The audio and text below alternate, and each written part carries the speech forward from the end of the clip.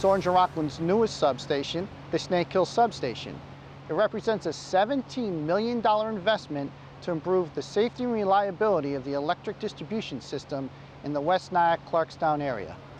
In particular, this relieves loading for Tilcon and United Water, who had previously been fed from our West Nyack station. This allows dedicated circuits to both of those very large and important customers to uh, not only Orange and Rockland, but the County of Rockland.